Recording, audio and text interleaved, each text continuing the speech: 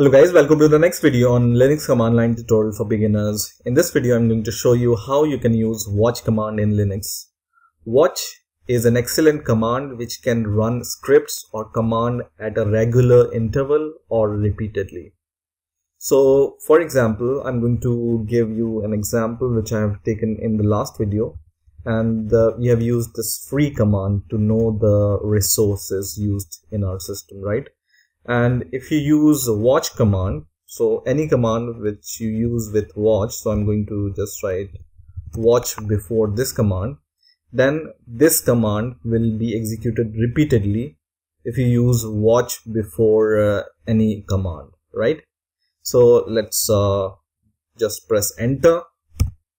And you can see after every two seconds this command is going to be executed and you can see uh, the resources used will be changed after two seconds. You can see it's changed right? So by default uh, the command will be executed at an interval of two seconds right? Now if you want to make it faster we can do it.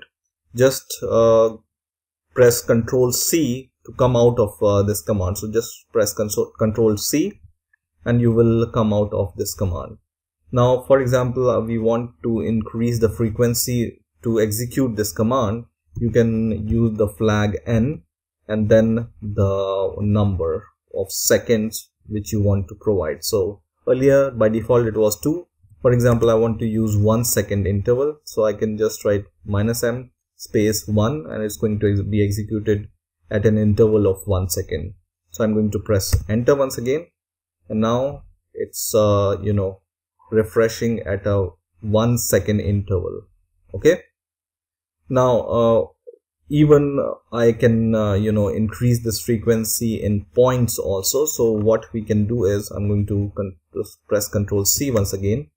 And instead of one second for example I want to uh, execute this command at an interval of 0.5 second I can just do it by just writing 0.5 here and press enter and it's going to be executed at 0.5 second. You can see every 0.5 second.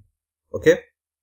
So this is how you can use watch command. So you can use uh, this watch command with any command or even with the script. It's going to execute that script um, repeatedly. Okay?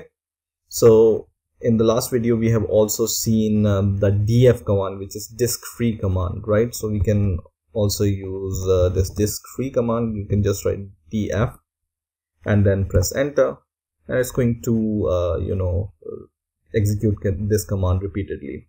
Right now nothing is happening here because we are not downloading or uploading anything on our system or from our system.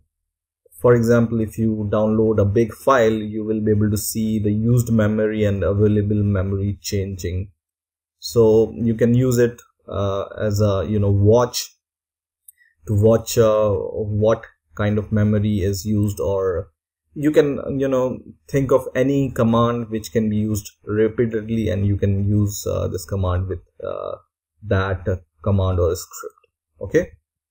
So i hope you've enjoyed this video. Please rate comment and subscribe and bye for now